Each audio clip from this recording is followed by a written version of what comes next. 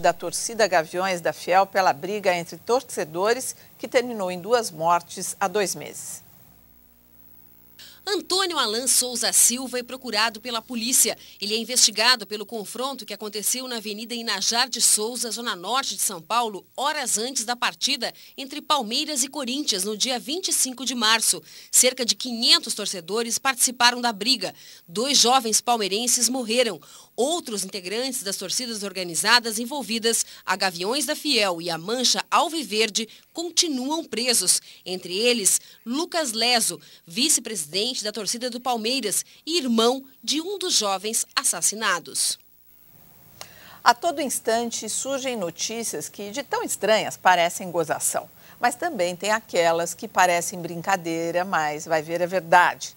Então, você acreditaria se eu dissesse que nos dias de enchentes, a Prefeitura de São Paulo vai disponibilizar botes salva-vidas para o transporte da população?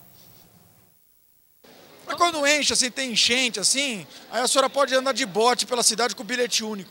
Eu acredito. A prefeitura cometeu o absurdo de disponibilizar botes em dia de enchente para as pessoas poderem se locomover. É uma ideia totalmente fora. É, seria uma boa opção. Seria uma boa opção. Precisando de muito bote nas ruas aí. Atenção, caro telespectador. Tudo o que foi dito até agora nessa reportagem não passa de uma grande brincadeira.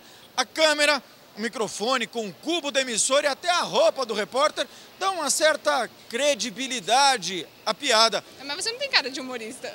Eu não sou humorista, não. Nem jornalista, nem repórter, nada. Não cara não. de nada?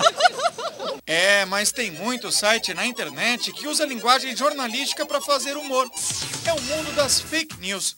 As notícias falsas que zoam com artistas, assuntos do cotidiano, futebol, celebridades e, é claro, política. Só que tem gente que acredita na piada. A senhora viu essa notícia aqui, ó? Médico que salvou a vida de Sarney é agredido? Não. O que a senhora acha disso? Eu acho absurdo. Por quê? Porque o médico não tem nada a ver com a conduta do Sarney.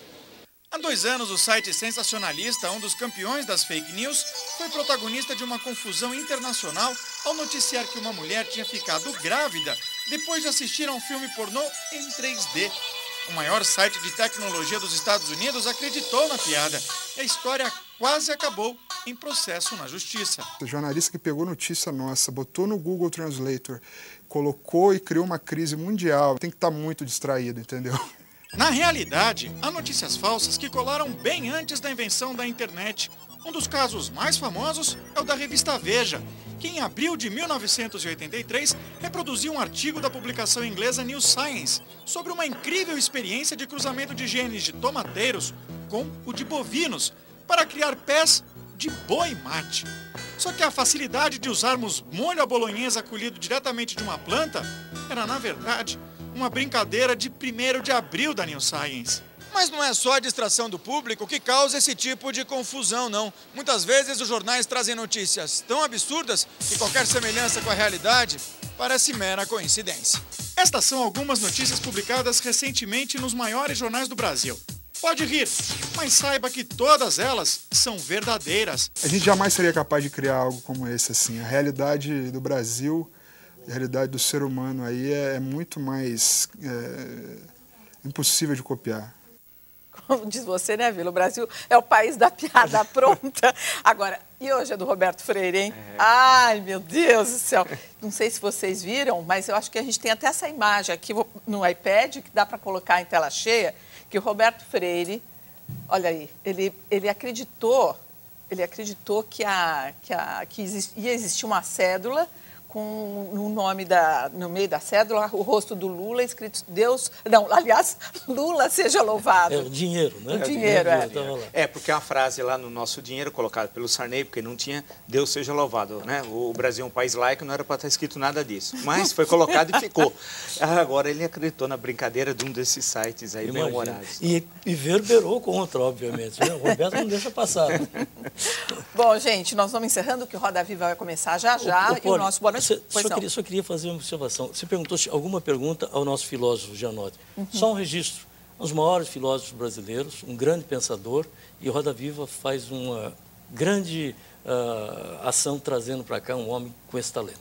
Ah, então tá aí, tá aí para você que está postos esperando esse programa que começa já já. Um jovem nascido em Mogi das Cruzes, não é o ah, Janote, e que mora em Santos, recebeu agora à noite o título de cidadão paulistano para a felicidade ainda do bem, Vila. Claro. Neymar da Silva Santos Júnior, ou simplesmente Neymar, ganha homenagem uh, um dia após o Santos vencer o Guarani por 3 a 0. Com a vitória, o Santos está praticamente com a mão na taça do tricampeonato paulista. Neymar e seus gols estão no Boa Noite Especial de hoje. Até amanhã.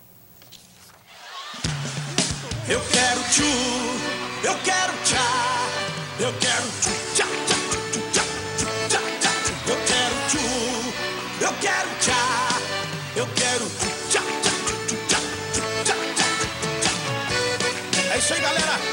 Esse é o novo hit do João Lucas e Marcelo.